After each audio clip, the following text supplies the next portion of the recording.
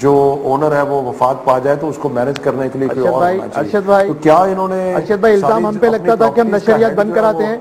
आज लाहौर में यार भाई कि आपके प्रोग्राम की नशरियात बंद हो रही है? जी देख ले बिल्कुल ये नशरियात कौन ब्रेकिंग बंद करा रहा है। मैं भी इस वक्त देख रहा हूँ कि लाहौर के कई इलाकों में नशियात नशियात बंद बंद की जा रही हैं। आरिफ हमीद भट्टी हमारे जो ब्यूरो चीफ है मैं कोशिश करता हूँ कि उनसे भी इस हवाले से मजीद बातचीत करूँ। इनको चाहिए इसके आज आज ये आज ये इल्ज़ाम हमसे धुल गया. ये इल्ज़ाम भी हमसे मैं- मैं खत्म हो गया नाज़रीन सिर्फ़ एक चीज़ आपसे शेयर करूँ ऑफशोर कंपनीज़ की ये बहुत सारी बात हो रही है।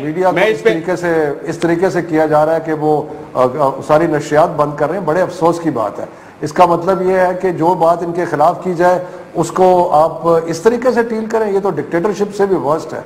तो मैं इसमें शदीद एहतजाज करता हूँ और बात मुकम्मल कर रहा हूँ कि ये जो सारा खाता है इनका शफकत साहब से मेरा ख्याल हमारा रबता थोड़ा मुनकता हो गया है नाजरीन। कोशिश करेंगे कि शब से रबता